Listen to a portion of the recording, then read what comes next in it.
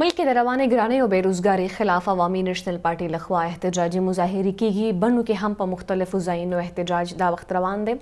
تفصیل معلوموو د خپل همکار وسیم نه. جی محمد وسیم څه صورتحال دی بنو کې؟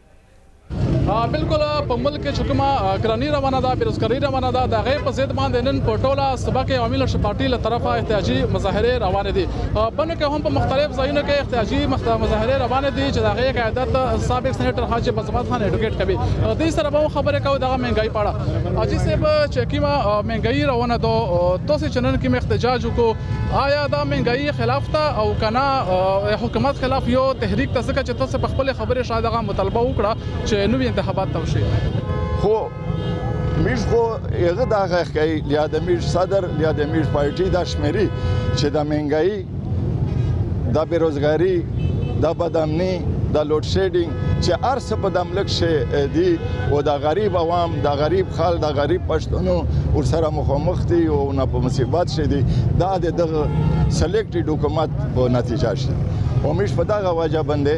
دا غني چې سي پرې د سلیکټډ حکومت تلانی مهنګایي ختم کېدای نشي چې سلیکټډ حکومت لوټ شي مهنګایي به ان شاء الله خدای ختم د دې وینا دا چې نن کوم وینش پارټي احتجاج راوستل دي نو دي دا وایي چې وخت په وخت باندې د ایمل ولی خان او